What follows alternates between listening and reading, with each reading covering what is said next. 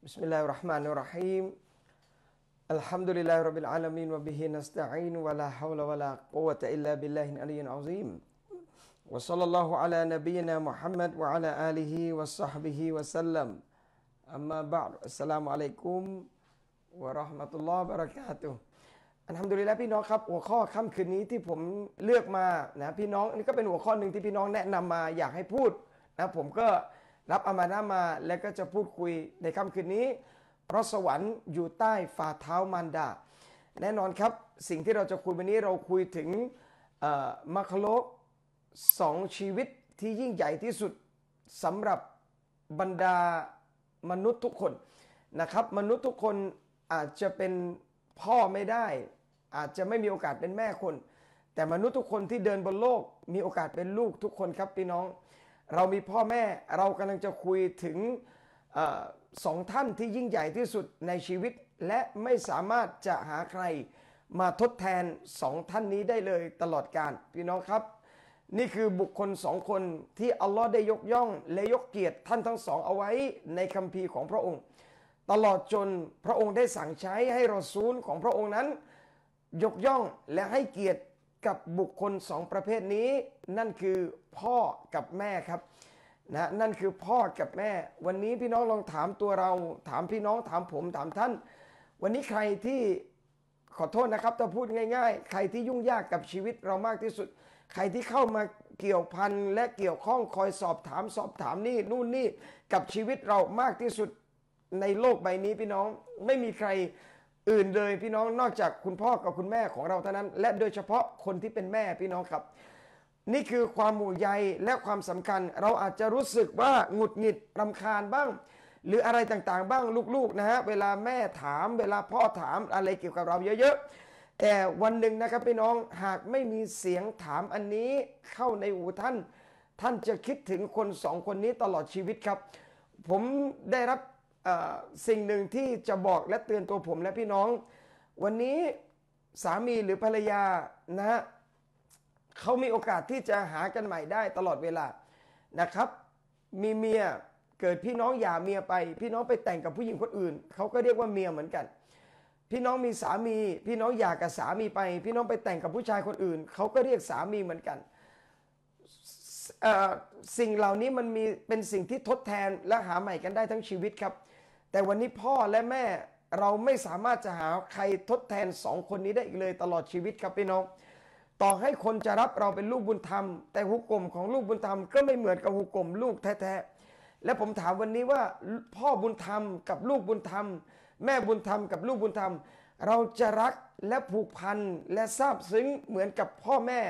หรือลูกที่สืบเชื้อสายกันแท้ๆอย่างนั้นแหละครับพี่น้องเป็นไปไม่ได้โดยเด็ดขาดยากมากๆ ตรงนี้แหละครับพี่น้องอัลลอฮ์จึงยกย่องเกียรติในตรงนี้ให้แก่คุณพ่อคุณแม่สูงส่งกว่ามนุษย์คนใดทั้งสิ้นในโลก สูงส่งกว่ารัฐมนตรี สูงส่งกว่านายก สูงส่งกว่าใครทั้งสิ้น นั่นคือพ่อกับแม่เราอัลลอฮ์ตรัสและกล่าวไว้ในอันกุรอานชัดเจนมากๆพี่น้องครับนะวันนี้ผมพูดเนี่ยผมเตือนตัวผมด้วยนะครับ ผมก็ด่าตัวเองด้วย เตือนตัวเองด้วย วันนี้บอก แล้วผมเป็นลูกที่ดีหรือยังบางคนบอกอาจารย์เป็นลูกที่ดีหรือยัง อาจารย์ผมก็บอกว่าผมยังไม่สามารถจะเป็นลูกที่ซอและเต็มร้อยเปอร์เซ็นต์ได้แน่นอน แต่วันนี้เราและท่านทั้งหลาย อินชาอัลลอฮ์ครับ เราอยู่ในความพยายามซึ่งกันและกัน อันดับแรกพี่น้องที่รักครับ เราบอกว่าวันนี้เนี่ยนะฮะพี่น้องอัลลอฮ์ยกย่องสองท่านนี้ในอันกุรอานโดยที่พระองค์ได้กล่าวเอาไว้ในคัมภีร์ของพระองค์ชัดเจนมาก บอกว่าอัลอุบิลละมินัชชัยตอนิรจิมวะกดอรับบุกะอัลลาตะบุดูอิลลาอียาหู และอัลลอฮ์ได้สั่งใช้นะครับ ต่อบรรดาบ่าวของพระองค์ อันดับแรกสำคัญที่สุดจงอย่าอิบาดัตอื่นจากอัลลอฮ์โดยเด็ดขาดนะห้ามอิบาดัตอื่นต่อสิ่งหนึ่งสิ่งใดทั้งสิ้น อิลลาอียานอกจากพระองค์ผู้เดียว นี่คือรากฐานของความเป็นมุสลิม รากฐานของความเป็นคนดีพี่น้องครับ เราจะไม่อิบาดัตเราจะไม่กราบไหว้ เราจะไม่ก้มกราบศีรษะเราให้ใครทั้งสิ้น อิลลาอียานอกจากพระองค์อัลลอฮ์เพียงผู้เดียว ต่อมาอัลลอฮ์ได้กล่าวต่อหลังจากการให้เอกภาพ หรือให้ความเป็นเตาฮิดต่ออัลลอฮ์นะครับวบิลวาลิดัยนีอิฮซานะและเจ้าจงทำดีกับพ่อและแม่ของเจ้า นี่คือคำสั่งจากอัลลอฮ์สุบฮานาตะลาพี่น้องครับอัลลอฮ์สั่งใครพี่น้องอัลลอฮ์สั่งมนุษย์ทุกคน ผมพูดได้เลยว่าอัลลอฮ์สั่งมนุษย์ทุกคนทำไมต้องบอกมนุษย์ทุกคนนะ ทำไมผมไม่พูดว่าอัลลอฮ์สั่งกับลูก เพราะผมบอกแล้วว่ามนุษย์ทุกคนคือลูก แต่มนุษย์ทุกคนอาจจะไม่ได้เป็นพ่อก็ได้นะเพื่อนผมยังไม่แต่งงาน มันก็ยังเป็นพ่อไม่ได้ แต่เพื่อนผมถึงไม่แต่งงาน มันก็เป็นลูกแน่นอนอัลลอฮ์สั่งใช้กับมนุษย์ทุกคนเลยนะ บอกว่าวบิลวาลิดนีอิฮซานะจงทำดีกับพ่อกับแม่ของเจ้าคำสั่งนี้พี่น้องการถูกสั่งให้ทำความดี มันเป็นการสั่งที่ยิ่งใหญ่มากๆครับ หน้าที่ลูกตระหนักและเขียนไว้แปะในหัวใจเราเลยนะครับ บอกว่า วันนี้หน้าที่ฉันที่ต้องดีกับ ต้องทำอะไรกับพ่อแม่ต้องทำดีครับ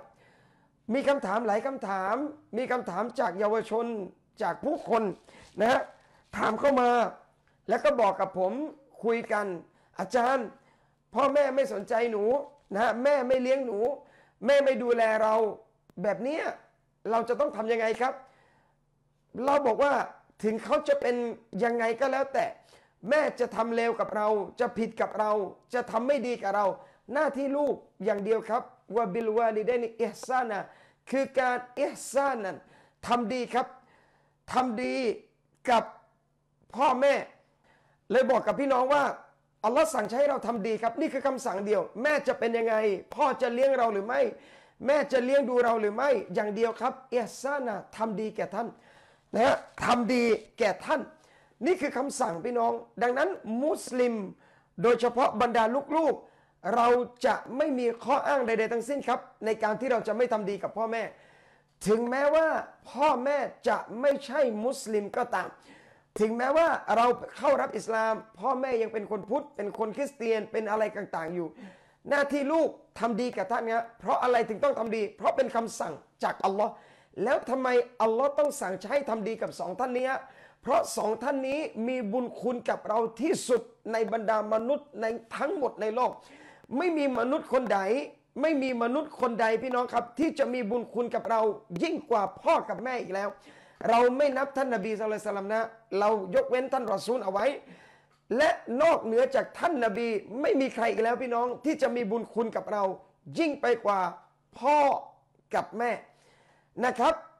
ยิ่งไปกว่าพ่อกับแม่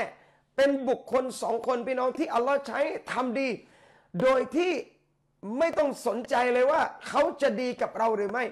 นะนี่คือคำสั่งจากพระผู้เป็นเจ้าอัลลอฮ์สุบฮานาอัลลอฮ์พี่น้องอัลลอฮ์ใช้ และเมื่ออัลลอฮ์ใช้แบบนี้พี่น้องที่รักครับ เราลองไปดูอีกสิ นะเราลองไปดูในคำสั่งจากอัลลอฮ์ที่อัลลอฮ์ได้ยกย่องในเรื่องของความดีงามที่ปฏิบัติกับพ่อแม่ขนาดไหน นี่คือการกล่าวโดยรวมครับ และอัลลอฮ์ได้ตอกย้ำลงไปอีกในเรื่องการทำดีตรงนี้บอกว่าอิมมาเยบลูวันอินเดกัลคิบรอาฮัดุมะเอาคิลาฮุมะและหากคนหนึ่งคนใดในทั้งสองนะหากท่านเขาทั้งสองแก่ชาราลงแล้วอยู่กับเจ้า หรือคนหนึ่งคนใดในในท่านทั้งสองที่แก่ชาราลงแล้วอยู่กับเจ้านะครับฟลาตะกุลละหุมาอุฟฟิน เจ้าจงอย่าพูดคำว่าอุฟกับทั้งสองโดยเด็ดขาด มาชาอัลลอฮ์ครับพี่น้อง อันดับแรกอัลลอฮ์บอกให้เราทำดีด้วย และอัลลอฮ์มาย้ำอีก บอกว่าถ้าพ่อแม่แก่ชาราลงนะทั้งสองคนเลย หรือว่าคนหนึ่งคนใดก็ตามนะ อัลลอฮ์สั่งว่าอย่าพูดคำว่าอุฟกับท่านทั้งสองโดยเด็ดขาดอุฟคืออะไรครับพี่น้องอุฟคือการแสดงออกซึ่งความไม่พอใจ ไม่ว่าจะเป็นคำพูดอาหรับใช้คำว่าอุฟคนไทยเราอะจึจึจักปาก ห้ามโดยเด็ดขาดนะ บุคคลสองคนนี้พี่น้องที่ห้ามโดยเด็ดขาด กับคนอื่นน่ะเราแสดงอาการไม่พอใจมันก็ไม่ดีอยู่แล้ว พี่น้องแต่ว่า ยังไม่เท่ากับการที่เราแสดงความมารยาทเร็วๆ กับสองคนนี้ห้ามโดยเด็ดขาดทำไมอัลลอฮ์ต้องมาสโคบหรือมาโฟกัส ในตอนที่แม่แก่ ในตอนที่พ่อแก่ลงครับพี่น้อง เพราะอุลมะอธิบายว่า คนเวลาเริ่มแก่ตัวลง เวลาเริ่มมีอายุ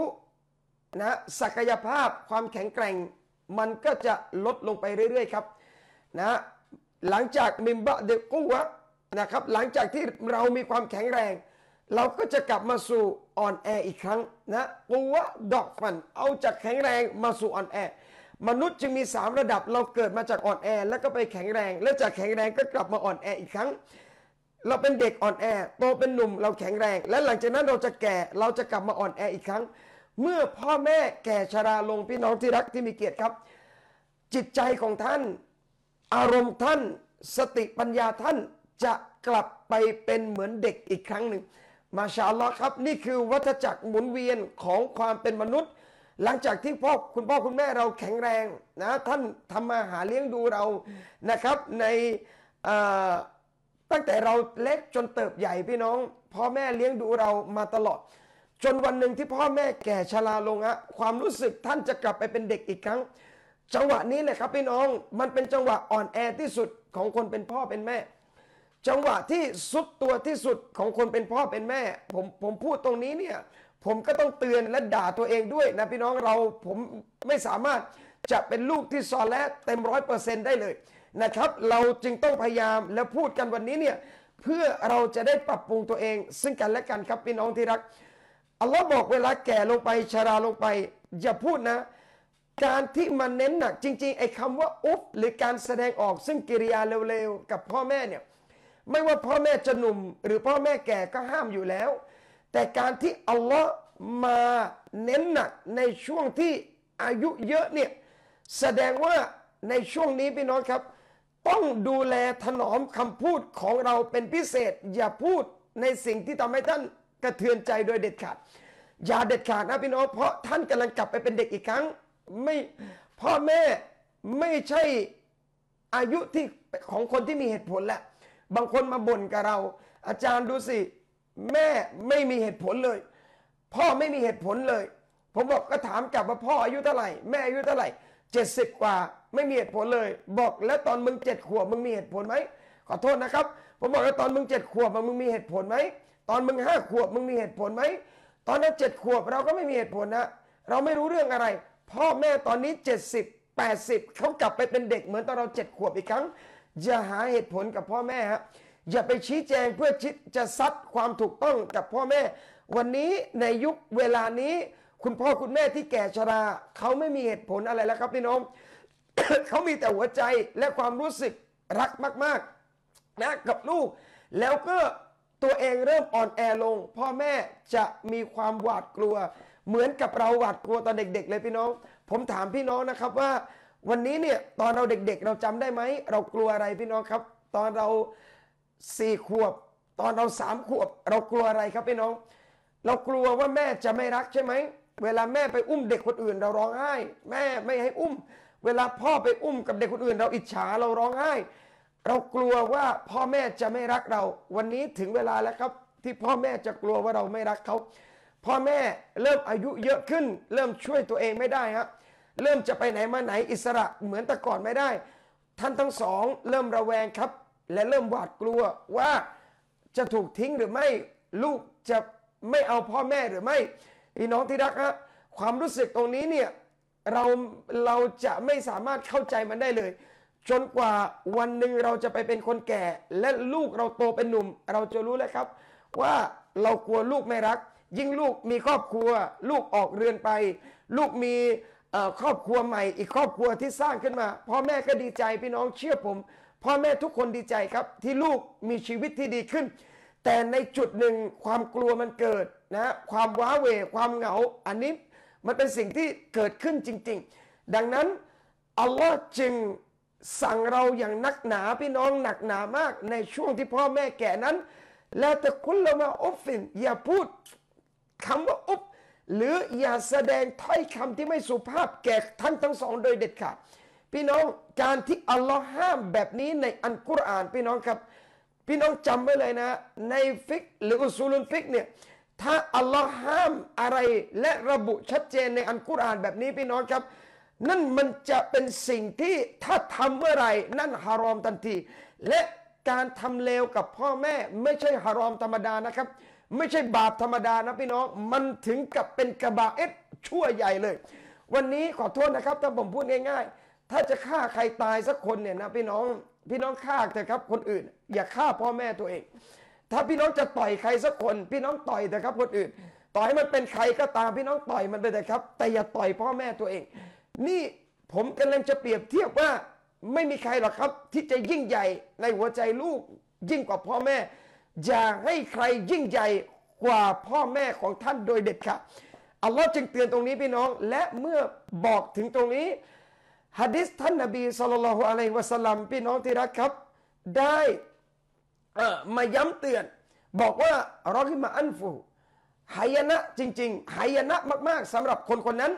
ใครครับمن أدرك أبويه عند الكبر أحدهما أو كليهما فلم يدخل الجنة أو كما قال صلى الله عليه وسلم ใครที่ทันอยู่กับพ่อแม่ของเขาในยามแก่ชรานะฮะแล้วเขาไม่ได้เข้าสวรรค์ นบีถือว่าคนคนนั้นหายนะสุดๆครับพี่น้อง ถือว่าคนคนนั้นเป็นคนที่พลาดมากสุดๆ หรือเลวร้ายที่สุด เพราะโอกาสที่เราจะได้สวรรค์ ตอนที่พ่อแม่แก่นี่แหละครับพี่น้อง จังหวะปกติเราไม่มีโอกาสล้างอึล้าง ขี้เยี่ยวให้พ่อแม่ เราไม่มีทางหรอกครับ เราไม่มีจังหวะจะเช็ดอ้วกให้พ่อแม่หรอกครับเราไม่มีจังหวะจะพาพ่อแม่ไปทำธุระหรือไปทำอะไรหรอกครับ แต่เมื่อพ่อแม่แก่ตรงนี้แหละเราจะมีโอกาสทันที พี่น้องวันนี้นี่คือสิ่งที่อัลลอฮ์ได้กล่าวเอาไว้อุมุมและกว้างๆในเรื่องของพ่อแม่ สิ่งที่ท่านนาบีสุลต่านละฮ์อะลัยวะสลลัมได้กล่าวเอาไว้กว้างๆในเรื่องของพ่อแม่ วันนี้ถ้าลองสโคบ ในสองท่านนี้ ระหว่างคุณพ่อกับคุณแม่ พี่น้องครับ ความเป็นคุณแม่ ความเป็นแม่เนี่ยนะฮะจะถือว่ายิ่งใหญ่มาก ยิ่งกว่าความเป็นพ่อ พี่น้องอัลลอฮ์ยกย่องทั้งสองคนนี้เท่ากันแล้วนะครับ พี่น้องในความยิ่งใหญ่ทั้งพ่อและก็แม่ แต่ในหลักการอิสลามอัลลอฮ์สุบฮานาตะลาสอนให้เราเห็น และยังบ่งบอกให้เราเข้าใจอีกว่า แม่ สูงส่งแล้วมีเกียรติหรือมีดีกรีหรือมีเขาเรียกความสำคัญเนี่ยนะ กับลูกเนี่ยแม่จะยิ่งใหญ่กว่าคนเป็นพ่อครับ นี่คือสิทธิของคนเป็นแม่มาชาอัลลอฮ์มาก ยิ่งใหญ่มากๆพี่น้องครับอัลลอฮ์ยกเกียรติแม่สูงกว่าคนเป็นพ่อ พี่น้องดูในฮะดิษของท่านนบีสุลต่านละฮ์อะลัยวะสัลลัมพี่น้องครับ ท่านนบีสุลต่านมีคนมาถามนะในท่านรอซูเนี่ย ฉันจะเป็นเพื่อนสหายมิตรชิดกับใครที่ดีที่สุดท่านรอซูลได้ตอบว่าอุมมุกอุมมุกะอุมมุกะสามครั้งพี่น้องครับ ถามไปถามมาสองสามครั้ง ท่านนบีตอบแม่ของท่านหมดเลย ส่วนครั้งที่สี่ท่านรอซูลถึงจะพูดครับบอกว่าอบูกะพ่อของท่าน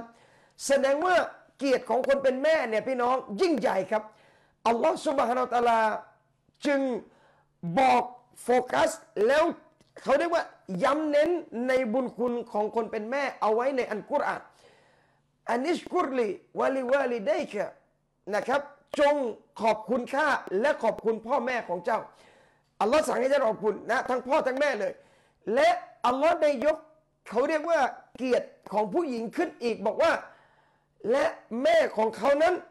นะอุ้มท้องของเขาลูกของเขาหน้าที่ผู้หญิงคือการอุ้มท้องครับ ฮามาลาตุอุมูวะนั้นอัลาวะนินอัลลอฮ์บอกเอาไว้ว่า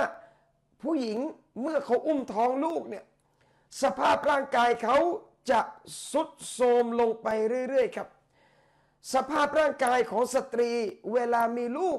นางจะสุดโทมลงไปเรื่อยๆ นางจะบกพร่องลงไปเรื่อยๆ เรื่องของกระดูกเรื่องของสุขภาพวะนั้นอัลอาวะนิน คือการอ่อนเปลี่ยลงครั้งแล้วครั้งเล่าว่าฟิซอลูฟีอาไม่นี่และการให้นมของนางอีกเป็นเวลาสองปี พี่น้องครับ มิอาแม่ที่จะต้องนะครับ เขาเรียกว่าสิทธิที่ทำให้กับลูกเลยหนึ่งอุ้มท้องอะอุ้มท้องอย่างน้อยที่สุด พี่น้องที่รักครับ แน่นอน 6 เดือน 7 เดือน 8 เดือน 9 เดือน และให้นมลูกอีกเป็นเวลาสองปีฮะสองปีนะครับสองปีในการเขาเรียกว่าตั้งให้นมลูกสำหรับคุณพ่อคุณแม่ที่สุขภาพดีนะ ส่วนคุณแม่ที่สุขภาพไม่ดี อันนั้นว่ากันไปอีกเรื่อง แม่ให้นมลูกพี่น้องสองปี อุ้มท้องอย่างต่ำหกเดือน อัลลอฮ์ใช้ในอันกุรอานคำว่า 30 เดือนอะพี่น้อง 30 เดือนเนี่ยอุ้มท้อง 24 เดือน2อ่าให้นม 24 เดือน 2 ปี เวลาอุ้มท้องอย่างน้อยที่สุดสุด6เดือน 30 เดือนนะคนเป็นแม่ต้องอยู่กับลูกแบบนี้ ยังไม่นับตอนที่แม่คลอดลูกออกมา ที่นางจะต้องดูแลลูกต้องให้นมลูก พี่น้องลองบอกผมสิครับว่าใครนะที่เวลาลูกร้อนกลางคืน ใครที่ขึ้นมากล่อมเขา ใครที่ขึ้นมาโอบเขา ใครที่ไม่ได้นอนจนเช้าครับ ใครที่เขาไม่ได้นอน แล้วคอยดูเด็กคนนี้ตลอดเวลา พ่อหรือไม่อาจจะมีบางคนนะ แต่ส่วนมากหรือบอกว่าอักลบียะเลย ส่วนใหญ่ส่วนมากคนที่อดทนสอบัตแล้วมีพฤติกรรมแบบนี้มีแม่เพียงคนเดียวในโลกใบนี้พี่น้องที่รักครับ ที่สามารถจะสอบัตอดทนขนาดนี้ได้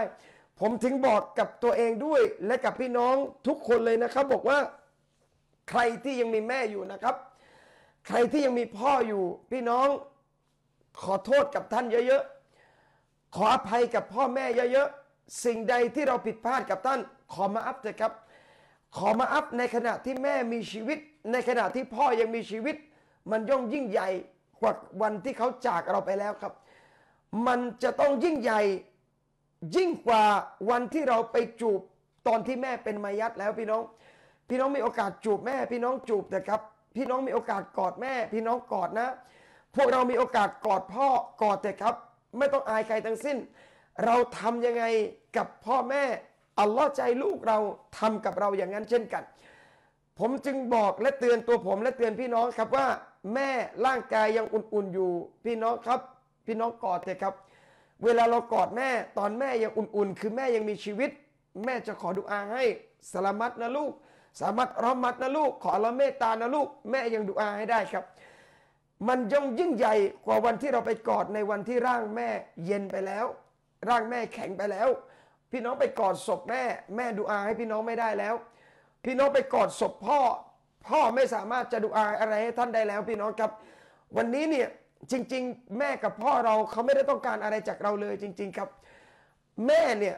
พร้อมจะให้เงินกับลูกในสิ่งที่ท่านเก็บมาตลอดชีวิต พร้อมจะให้แก่เราได้ทันทีฮะนี่คือความยิ่งใหญ่ของแม่นะครับ ท่านพร้อมจะให้เราทันที พ่อกับแม่เขาพร้อมจะให้กับเราทันที วันนี้เนี่ยพ่อแม่เราไม่ได้ต้องการเงินจากเราแล้วครับพี่น้อง ถึงแม้ว่าเราจะรวยเป็นพันล้าน พ่อแม่ก็ไม่ได้ต้องการเงินจากเราหรอกครับ แต่สิ่งที่ดีที่สุดตอนนี้อันฮัมดุลิลละครับวะบิลวาลิเดนิเอซานะจงทำดีแก่ท่าน เพราะโอกาสที่จะทำดีกับสองคนนี้ย่างมีอัธรสมากๆ เฉพาะช่วงเวลาตอนที่ท่านมีชีวิตอยู่นี่แหละครับพี่น้องฮะในการทำดีและสัมผัสกับท่าน ในการทำดีแล้วท่านขอดุอาให้เราทำดีกับท่านนะครับ ขอโทษท่าน คืนนี้พี่น้องที่รักครับ ใครที่ยังบาดหมางกับพ่อแม่นะใครที่ยังงอนกับพ่อแม่ ใครที่ยังไม่คุยกับพ่อแม่ ใครที่ยังอคติกับพ่อแม่ ไปขอโทษนะ จบไลฟ์พี่น้องโทรไปเถอะครับ เพราะวันพรุ่งนี้ท่านอาจจะไม่มีโอกาส โทรไปหาคุณแม่อีกเลยตลอดชีวิต วันลอฮีนะ สาบานต่ออัลลอฮ์พี่น้องว่า ชีวิตผมเท่าที่ผมประสบกับประสบการณ์ต่าง ๆ ที่ผ่านมาในชีวิต ผมเห็นคนที่ชีวิตตกต่ำมาก ๆ เนี่ยไม่ใช่คนโง่ ไม่ใช่คนเรียนไม่เก่ง ไม่ใช่คนจนนะแต่เป็นคนที่ทำเลวกับแม่อัลลอฮ์ให้ตกต่ำเลยครับพี่น้อง อันนี้สิ่งที่ผมเห็นแล้วเจอกับตัวเอง คนจนอัลลอฮ์อาจจะไม่ให้เขาตกต่ำก็ได้ คนโง่เรียนหนังสือไม่เอาไหนอัลลอฮ์อาจจะไม่ให้เขาตกต่ำก็ได้ แต่คนในเราคุณแม่อัลลอฮ์ให้เขาตกต่ำเห็นเห็นเลยครับพี่น้อง ตกต่ำเห็นเห็นต่อให้เขารวยขนาดไหน ต่อให้เขามีการศึกษาดีขนาดไหน แต่ถ้าเขาในเราคุณสองคนนี้พี่น้องครับ และโดยเฉพาะกับแม่อัลลอฮ์ให้เห็นทันตาเห็นทันทีพี่น้อง ชีวิตจะดิ่งลงเหวทันที ชีวิตจะไม่มีความสุขและไม่มีบารักัตใด ๆ ทั้งสิ้นในชีวิต ความบารักัตทั้งหมดถูกถอนออก เนื่องจากเนรคุณต่อแม่ครับนะอุบิลลามินซาลิกพี่น้องที่รักครับ นี่คือสิ่งหนึ่งที่เกิดขึ้น ดังนั้นวันนี้เราและท่านทั้งหลายพี่น้องครับ กันในนัสยัตของผมวันนี้เนี่ยพูดคุยขอโทษแม่นะ ขอโทษพ่อนะพี่น้อง ผมอยากจะขอร้องหรือบอกกันตรงนี้ไปเลยนะครับว่าไลฟ์จบ ใครยัง ไม่คุยผมเชื่อว่าอาจจะยังมีฮะคนที่ยังงอนแม่ คนที่ไม่ดีกับแม่ คนที่ไม่ดีกับพ่อ คนที่ยังไม่พอใจพ่อแม่ ทุกคืนที่พี่น้องนอนไป เชื่อแต่ครับ ท่านนอนในความโกรธของอัลลอฮ์ตลอดเลย เพราะอะไรพี่น้องริดอรับการพอใจของอัลลอฮ์นั้น อยู่ที่การพอใจของพ่อแม่ พี่น้องครับ ผมจะยกตัวอย่างอีกหนึ่งตัวอย่างในค่ำคืนนี้ให้พี่น้องเห็น ท่านนบีสุลต่านละอะลัยวะสัลลัมได้เคยกล่าวไว้ต่อบรรดาสหบัตของท่านนะฮะครั้งหนึ่งท่านรอซุลได้กล่าวแก่บรรดาสหบัตนะครับบอกว่ายะตีอะลัยคุมอุไยสุบนาอามิรจะมีผู้ชายคนหนึ่งชื่อว่าอุไวส์บินอามิรมาหาพวกท่านนะท่านนบีบอกว่าในอนาคตเนี่ยจะมีผู้ชายคนหนึ่งชื่อว่าท่านอุไวส์เนี่ยจะมาหาพวกท่าน ถ้าใครเจอกับเขานะผมสรุปนะ และมีความสามารถจะให้เขาขอไปยโทษต่อร้อยท่านได้ จงขอเถอะครับ เพราะอุไวส์บินอามิดเนี่ยเราอักษมาอัลลอฮ์ละอับรถ้าเขาขออะไรกับอัลลอฮ์อัลลอฮ์จะให้แก่อุไวส์เลย เพราะอะไรพี่น้องทำไมอุไวส์จึงเป็นคนที่ดูอามุสตาจับดูอาอัลลอฮ์ตอบรับแล้วหูนะฮะวาลิดะฮุบิฮะบารุดเอาคำบอกอัลลอฮ์สัลลัลลอฮุซัลลัม เพราะอุไวส์เนี่ยมีแม่อยู่คนหนึ่ง และอุไวส์เป็นคนที่ทำดีกับแม่มากๆ พี่น้องซาบัตตั้งตารอการมาของอุไวส์บินอามิดจนกระทั่งตักดีดอัลลอฮฺสุบานตะลาพี่น้องให้ท่านอุไวส์เนี่ยมาในยุคของท่านอุมารบินขอตอบอุไวส์เป็นเด็กหนุ่มยากจนกระจอกทางสังคม ไม่มีฐานะทางสังคม ผู้คนเห็นก็ไม่มีใครให้ค่ากับอุไวส์เป็นคนจนๆธรรมดาเอง แต่เป็นบุคคลที่ท่านอุมัรบินกอตอบเดินไปหาอุไวส์บินอามิดอุมัรคือใครพี่น้อง ท่านอุมัรคือชาวสวรรค์ที่นบีรับรอง ท่านอุมัรคือพ่อตาท่านรอซูล ท่านอุมัรคือสหายซาบัตที่สนิทของท่านนบี เดินไปหาเด็กหนุ่มยากจนที่ชื่ออุไวส์และให้อุไวส์ขอดุอาให้อัลลอฮ์ยกโทษให้กับท่านอุมัรเพราะอะไรพี่น้องที่อัลลอฮ์ยกเกียรติกับท่านอุไวส์เพราะอุไวส์ดีกับแม่ครับ พี่น้องวันนี้เนี่ย ผมบอกให้ท่านได้ทำดีกับแม่ ผมบอกตัวเองให้ทำดีกับแม่พ่อด้วย จริง ๆ วันนี้ต่อให้เราทำดีทั้งชีวิต เราก็ไม่สามารถทดแทนบุญคุณท่านทั้งสองนี้ได้แล้วครับพี่น้อง เราไม่สามารถทดแทนบุญคุณสองคนนี้ได้ ตลอดชีวิตตลอดกาลผมเคยดูในรายการหนึ่งพี่น้องครับ สังคมสมัยนี้ดูความเลวร้ายที่เกิดขึ้น คนคนหนึ่งเกลียดพ่อตัวเอง อยากจะหาเงินประมาณ 4 ล้านนะให้กับพ่อ เพื่อตอบแทนค่าเลี้ยงดูทั้งหมดที่เคยเลี้ยงมา และจะได้ตัดขาดจบความสัมพันธ์ นี่คือความระยำที่สุดที่เกิดขึ้นในสังคมที่ผมได้เห็นมา อันทำดุลิละหวังว่ามันคนนั้นจะไม่ใช่มุสลิม ผมบอกว่าต่อให้มึงให้ไปสิบล้านด้วยกับพ่อ มึงก็ไม่สามารถจะทดแทนบุญคุณพ่อมึงได้อีกเลย เงินเป็นพันล้านหรือจะให้ทั้งหมดในโลกแก่พ่อ มึงก็ไม่สามารถจะทดแทนบุญคุณพ่อหรือแม่ที่เลี้ยงเรามาได้อีกเลย ชีวิตนี้เราทดแทนบุญคุณสองคนนี้ไม่หมดตลอดการพี่น้องครับ ไม่มีทางหมดตลอดการซาบัตอิมนุอัมัดรดิยัลลอฮุอันุมะครั้งหนึ่งได้เคยถูกถามพี่น้องกับชายคนหนึ่งแบกแม่ในการตวาฟแบกนะครับ ไม่ใช่เข็นรถ แบกแม่ในการตวาฟแบกแม่เวลาแม่จะเดินไปไหนมาไหน คิดมัด แบกแม่ตลอด จนมาถามกับท่านอิมนุมัดว่าฉันทำดีกับแม่หรือยังแบบนี้ เป็นการตอบแทนได้หรือยังฮะท่านอิมนุมัดบอกว่าที่ท่านทำเนี่ยดีมากๆที่ท่านทำเนี่ยดีมากๆ แต่มันไม่สามารถจะทดแทนบุญคุณแม่ได้เลย แค่ช่วงเวลาที่แม่เจ็บท้องจะคลอดท่านเนี่ยแค่แม่เจ็บท้องตอนจะคลอดท่านเนี่ยการที่ท่านแบกแม่ไปไหนมาไหน ท่านไม่สามารถจะตอบแทนบุญคุณ ของแม่ได้แม้กระทั่งช่วงเสี้ยววินาทีที่แม่ เจ็บท้องตอนจะคลอดยาอัลลอฮ์ยังไม่นับเรื่องการให้นม ยังไม่นับเรื่องการอุ้มเลี้ยงดู ยังไม่นับในเรื่องของการดูแลยามป่วยไข้ในต่างๆ นานามากมายพี่น้องครับ เราไม่สามารถจะตอบแทนใด ๆ ได้กับสองคนนี้ตลอดชีวิต ถ้าเราจะเป็นคนเลวพี่น้อง และจะเลวสุดขนาดไหน อย่าเลวกับสองคนนี้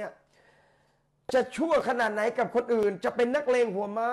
จะเลวระยำขนาดไหน อย่าระยำกับสองคนนี้ครับ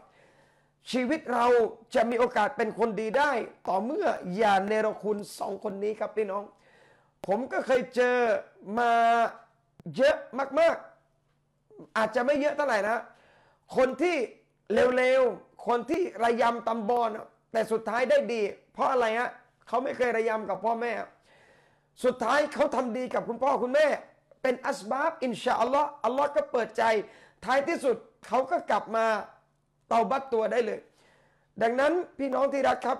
วันนี้คืนนี้ผมเตือนนะนะเสียตัวผมด้วย และตัวพี่น้องทุกคนด้วย ชีวิตนี้เรามีพ่อแม่คนเดียวครับ ผมด้วยนะ แต่เขาเรียกว่าเมียลูก เราอาจจะมีได้หลายคนนะแต่เรามีพ่อแม่คนนี้สองคนนี้คนเดียวจริง ๆ พ่อแม่ให้กำเนิดนะ ทุกคนมีพ่อแม่คนละสองคนละสองหมดเลยนะและสองท่านนี้แหละครับพี่น้องชีวิตเราจะรุ่งโรจน์หรือจะตกต่ำอยู่ที่เราทำดีกับสองคนนี้มากแค่ไหนครับ อยู่ที่เราปฏิบัติดีกับสองคนนี้มากแค่ไหนจำเป็นที่สุดนะที่เราจะต้องปฏิบัติ อามานที่สอนและกับท่านทั้งสอง และพี่น้องเชื่อไหมครับว่า เราทำดีกับท่านทั้งหมดเนี่ยจนวินาทีหนึ่งนะ ในวันที่คุณพ่อคุณแม่เราเสียชีวิตเนี่ยนะหัวอกลูกทุกคนครับพี่น้องเท่าที่ผมสัมผัสมา ต่อให้เขาไม่เคยกอดพ่อแม่เลยนะ ต่อให้เขาไม่เคยเล่นไม่สนิทกับพ่อแม่เลย เมื่อเห็นมายัดพ่อ เมื่อเห็นศพแม่ เมื่อเห็นมายัดของคุณพ่อคุณแม่ มันมีจุดหนึ่งครับพี่น้องที่คนเป็นลูกมันจะรู้สึก และเขาก็จะร้องไห้ ความรักนี่คือความรักผูกพันที่มีต่อพ่อแม่ วันนี้เนี่ย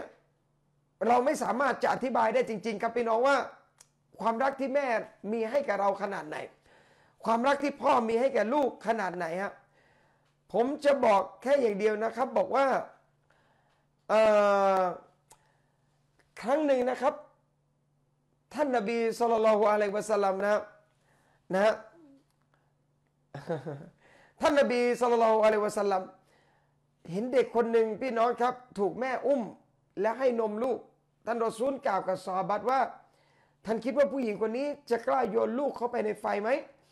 ซอบัตบอกเป็นทั้งหมดว่านางจะไม่ทำแน่นอน ท่านนบีจึงตอบกลับกับซอบัตทั้งหมดนะครับว่าอัลลอฮฺอัลฮัมุบิอิบาดี มินฮาดิฮิบิวลาดียอัลลอฮ์เมตตาแก่บ่าวยิ่งกว่าผู้หญิงคนนี้ที่เมตตาต่อลูก ความรักความเมตตาของอัลลอฮ์ถูกเปรียบเทียบกับความรักเมตตาที่ยิ่งใหญ่ที่สุดในโลก นั่นคือความรักที่แม่มีต่อลูกครับ อินชาอัลลอฮ์นะครับคำคืนนี้เนี่ยผมฝากเอาไว้ให้เราได้คิด ให้เราได้ตระหนัก ให้เราได้ขอโทษครับ อย่าฟังอย่างเดียวพี่น้อง อย่าฟังแล้วผ่าน อย่าฟังแล้วซึ้งอย่างเดียว สิ่งสำคัญที่สุด ผมอยากจะให้พวกเราได้ทำกันจริง ๆในค่ำคืนนี้นะครับสำหรับคนที่ยังโกรธพ่อแม่อยู่ ยังไม่เคยทำดีแก่ท่าน ยังงอนท่าน แล้วก็เคยพูดจาอะไรไม่ดีแก่ท่าน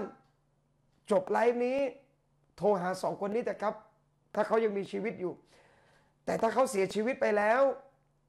กี่คนครับพี่น้องที่พ่อแม่เสียชีวิต และเขาไม่ทันได้ขอมาอัพนะ กี่คนครับพี่น้องที่เขาออกไปข้างนอก ในขณะที่เขาโกรธกับพ่อแม่ แล้ววันหนึ่งที่เขากลับมา พ่อแม่ไม่มีให้เขาอยู่ เพื่อจะให้เขาขอโทษอีกตลอดชีวิตดุนยาใครที่พ่อแม่เสียชีวิตไปแล้ว แล้วรู้ว่าเราทำเลวกับท่านไว้เยอะ ไม่สายนะครับพี่น้องที่จะเปลี่ยนแปลงตัวเองทำดีวันนี้ละหมาดให้ครบ ขอดุอาให้ท่าน เพราะเมื่อใดที่เราเป็นคนดีอัลลอฮ์ก็จะตอบรับคำวิงวอนของเราแน่นอน เมื่อใดที่เราเป็นคนดีพี่น้องครับ พ่อแม่ที่นอนในอัลัมบารซัก ที่อยู่ในกูโบสเขาจะได้รับความดีในสิ่งที่ลูกเขาเป็นในสิ่งที่ลูกเขาเป็นคนสอนและเขาจะได้รับด้วยเช่นกัน แต่ถ้าใครที่พ่อแม่ยังมีชีวิตอยู่โทรไปขอโทษท่านเถอะครับสำหรับคนที่ทำผิดกับท่านทั้งสอง ขอโทษพ่อแม่อาจจะดูเป็นเรื่อง เอ้ยทำไมมันต้องขอโทษวะขอโทษวันอีกก็พอไม่พอฮะไม่พอครับ สองคนนี้ถ้ามีโอกาสขอโทษท่านทุกวันแต่ครับ เพราะว่าเราไม่รู้หรอกจังหวะไหน หรือคำพูดไหนที่เราจะทำให้ท่านสะเทือนใจและเสียความรู้สึกนะทั้งตัวผมเองด้วยและพี่น้องด้วย ขอโทษแต่ครับสำหรับเราที่ยังมีพ่อแม่อยู่ หากวันหนึ่งอัลลอฮ์จะเอาท่านทั้งสองกลับไป เราในฐานะลูกก็ต้องขอดุอาให้อัลลอฮ์เมตตาท่านทั้งสองดุอาที่ยิ่งใหญ่มากพี่น้องครับนะผมจะพูดก็ ก็พูดแล้วกันนะอัลลอฮ์สอนให้เราขอดุอาให้กับคุณพ่อคุณแม่เนี่ย ความหมายลึกซึ้งมากครับพี่น้องถ้าเราพิจารณานะ เราขอดุอายังไงฮะอัลลอฮ์มักฟิรลีนะฮะหรือบางคนอ่านรอบบิกฟิรลีก็ได้ โอ้อัลลอฮ์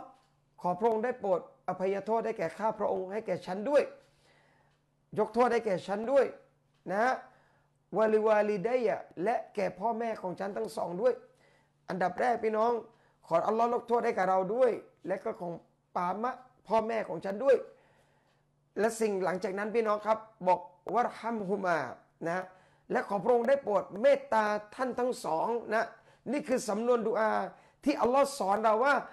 วะฮัมฮุมา และขอพระองค์ได้โปรดเมตตาท่านทั้งสองนะครับกามารับบายานีซอรีรอเหมือนกับที่ท่านทั้งสอง เลี้ยงดูข้าพเจ้ามาตั้งแต่เยาว์วัยตั้งแต่เล็ก ๆ พี่น้องที่รักครับอัลลอฮ์เนี่ยสอนให้เราดูอาขออัลลอฮ์เมตตาท่านทั้งสอง เหมือนกับที่ท่านทั้งสอง เลี้ยงดูเรามาตั้งแต่เล็กๆเลยพี่น้องครับ ตั้งแต่เล็ก ๆ เลยทำไมสำนวนดูอาต้องถูกเปรียบเทียบ ให้อัลลอฮ์เมตตาพ่อแม่ของเราเหมือนกับตอนที่พ่อแม่ เลี้ยงดูเรามาตั้งแต่เล็กพี่น้องฮะพี่น้องย้อนไปดู ตอนที่เราเล็ก ๆ เราย้อนไม่ออกใช่ไหมครับ วันนี้เรามีลูก เราเลี้ยงลูกตอนเล็ก ๆ เป็นยังไงพี่น้อง มาชาอัลลอฮ์มาก เรารักเขาเรากอด เราจูบ เราเมตตา เรายอมอดให้ลูก ลูกจะตีลูกจะอะไรเล่นกับเรา เรามีความสุขทุกกระบวนการพี่น้องฮะเรามีความรักเมตตาลูกตอนเล็กๆ มากมากมากมากที่สุดนะเราไม่โกรธอะไรลูกเลย เมตตามากพี่น้องครับ เมตตามากๆ มันเป็นความเมตตาที่ไม่เหมือนกับตอนที่ลูกเติบใหญ่นะเวลาลูกโตเป็นหนุ่มเป็นวัยรุ่น เราก็มีอารมณ์โกรธบ้างเวลาทำผิด เราลงโทษ เราดุแต่ตอนลูกเล็กกับพี่น้อง เรามีแต่ความรักความเมตตา ลูกทำผิดเราก็ยังยิ้มยังโอยังกอดเพราะลูก ขอพระองค์ได้โปรดเมตตาพ่อแม่ของพวกเราเหมือนกับที่ตอนที่ท่านทั้งสอง เลี้ยงดูเรามาตั้งแต่เยาว์วัยด้วย นี่คือฮิกมัตหนึ่งที่เราได้ จากอายัดกุรอานในสำนวนนี้พี่น้องครับ มันเป็นฮิกมัตนะและมันเป็นสิ่งที่เราได้จากอายัดนี้ที่ให้เราได้คิด จึงจะบอกกับพี่น้องว่ามันยิ่งใหญ่จริงๆฮะกับบุญคุณของพ่อแม่ดูอาให้ท่านทั้งสองนะ อย่าทิ้งดูอานี้ในทุกๆการละหมาดของท่านดูอาให้ท่านทั้งสองนะครับพ่อแม่ทั้งที่ท่านมีชีวิตอยู่ และหากวันหนึ่งท่านจากเราไปแล้ว ก็ดูอาให้ท่าน ต่อไปเรื่อยๆนะครับพี่น้องดูอาไปเรื่อยๆ ถึงวันหนึ่งพ่อแม่จะไม่อยู่กับเราแล้วเนี่ยจะจากเราไปแล้ว อย่าทิ้งดูอานะครับพี่น้อง เพราะดูอานี่แหละ มันจะยิ่งใหญ่มากๆ และขอให้เราได้ไปเจอกับคุณพ่อคุณแม่ของเราอีกในสวรรค์ชั้นฟิดเดลส์และขอให้เราได้อยู่ร่วมกันหมด พร้อมหน้าพร้อมตาพ่อแม่ลูกนะครับ ลูกหลานสุริยัตของพวกเราทุกคน ขอดุอาต่อลอสุบานตะลายชาลอนะครับ อันทำดีแล้ว ก็นิดนะพูดแล้วกันนะพี่น้องก็ผมก็พูดแค่นี้แล้วนะ จริง ๆ เรื่องแบบนี้ผมไม่ค่อยอยากพูดเท่าไหร่นะพี่น้องไม่ค่อย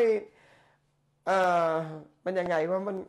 พูดแล้วไม่ใช่ไม่อยากพูดเพราะไม่ชอบนะหนึ่งเพราะเรายังไม่ดีพอที่จะเป็นลูกที่ซอนแรกจะเป็นตัวอย่างให้คน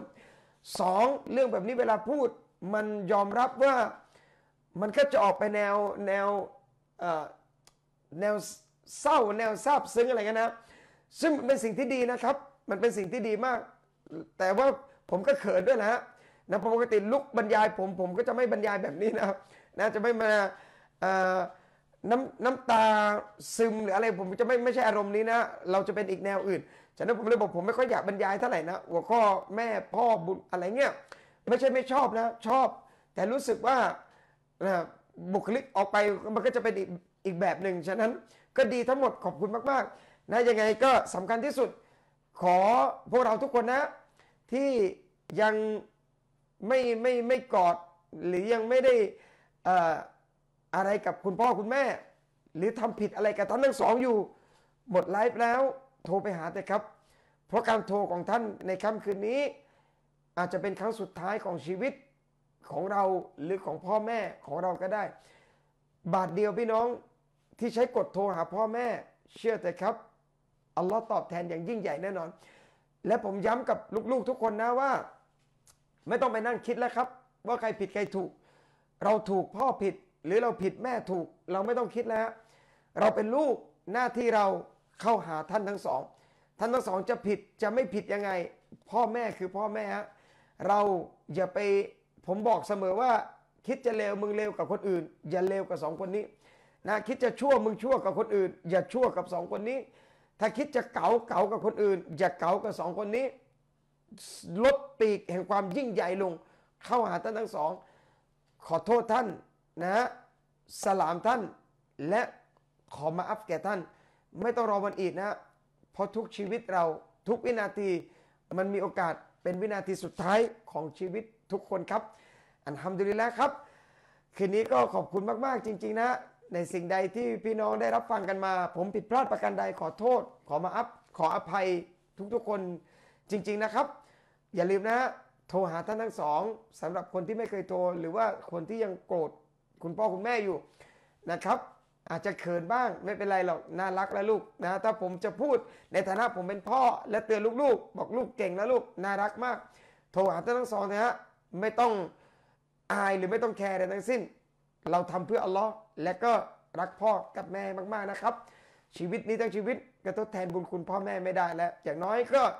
ทำให้สุดความสามารถเท่าที่เราจะทำได้แล้วกันนะครับนะแล้วก็อีกอย่างหนึ่งอย่าโกรธพ่อแม่นะ อย่าโกรธท่านทั้งสองนะครับ เวลาท่านทั้งสอง จริงฮะพ่อแม่ไม่ได้ทำถูกทุกเรื่องหรอกครับ ผมก็เป็นพ่อคนนะไม่ได้ทำถูกทุกเรื่อง แต่หน้าที่ลูกสิ่งใดที่พ่อแม่เขาผิดพลาดอะไรกับเรา ให้อภัยแต่ครับ ให้อภัยตั้งแต่วินาทีแรก ไม่ต้องรอให้พ่อแม่มาขอโทษลูก และลูกสิ่งที่ทำผิดพลาดไปขอโทษท่านทั้งสองนะครับ และท่านจะรู้ว่าชีวิตบารักัตชีวิตที่ดีงาม มันง่าย ๆ เองทำดีกับสองคนนี้ และสิ่งที่ดีๆ ทุกอย่างจะตามมาแน่นอนครับ ขอบคุณมากครับ กับไลฟ์นี้แล้วเจอกันใหม่ในไลฟ์ต่อๆไป ขอลาไปก่อนนะ เราจะไม่พูดไปมากกว่านี้นะ เดี๋ยวบุคลิกมันจะเปลี่ยนกันไปหมดนะ เดี๋ยวผมต้องกลับ จูนกลับมาสภาพเดิมก่อนแค่นี้ก่อนนะครับ ลาไปก่อนขอบคุณมากๆ ทุกๆ คนจริงๆฮะ إن شاء الله see you again ครับ وبالله التوفيق والهداية والسلام عليكم ورحمة الله وبركاته ครับ الحمد لله ครับ